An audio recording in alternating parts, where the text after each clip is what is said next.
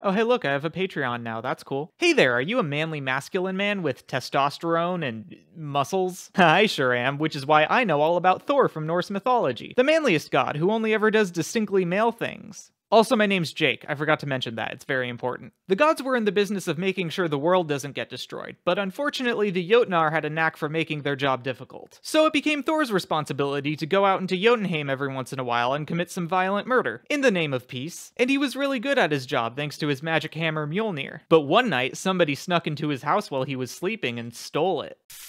Oh, good morning. Honey, where's my hammer? Don't you have it right there? This is a ruler and a can of beans taped together to form the approximate shape of my hammer. Loki! Gah! I'm sorry I shaved down the outsoles of your boots to make you feel slightly shorter and harm your sensitive masculinity. What? Oh, nothing. What did you want to ask about? My hammer is missing. Did you steal it? Ah, I wish. That's a way better prank than the entirely hypothetical one I just mentioned. Yeah, except for the fact that I need my hammer to make sure the Jotnar don't end the world. Also, I like killing things. Oh, yeah, the world ending is definitely not something I want to happen. At least not until somebody finishes writing my favorite fantasy series, Patrick. Then Loki decided to investigate, so they traveled into Jotunheim where they encountered Thrym, king of the Jotnar. Oh, hey, Loki, how are things going back in Asgard? Suspicious chuckling. Did you steal Thor's hammer, Thrym? Yup, while he was sleeping, I swapped it with a ruler taped to a can of beans to form the approximate shape of his hammer. Damn, I should have thought of that. Well, look, you're gonna have to return it, because Thor needs it to murder your people. Oh, sure, I'll be happy to hand it over, to whoever can present me the goddess Freya's hand in marriage. Oh god, you're an incel? I take offense to your derogatory use of that word. Now, if you'll excuse me, I have stuff to do. So Loki went back to Thor and told him the news, and then the two of them went to Freya and decided to come up with a plan of their own. Hmm, it'll be tough to get your hammer back without Freya, but I think I know another way we could do it, but I'm not sure if you'll be a fan of my idea. I'll do anything to get my hammer back!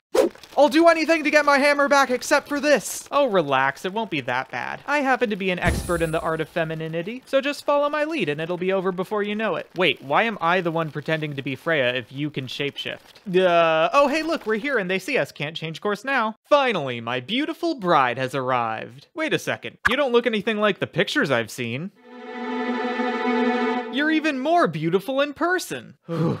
Wait, I don't know how to feel about that. And then, before the ceremony, Thrym invited his lovely bride and her maid to a great feast. Our entree for this evening is your choice between the braised ox short rib and the honey glazed salmon fillet. And for our sides, we have.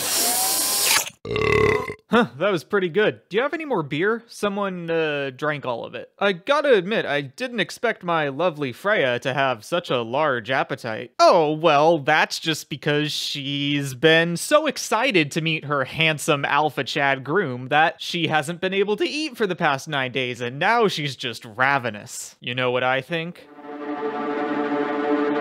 I think that's pretty hot. Oh, alright, well, I'm not gonna tell you not to feel that way. You could.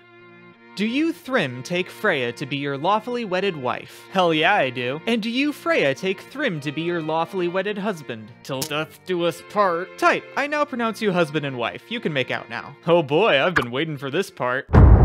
Ugh! Her eyes make her look like she wants to crush me to death with her bare hands. Would you be into that? Huh, actually, I think I might be. Okay, I think it's time to exchange wedding presents now. Ah, of course. As promised, I present to you Thor's famous hammer. Where is that guy anyway? I would have thought he'd come here to get it himself. Oh, he's here all right.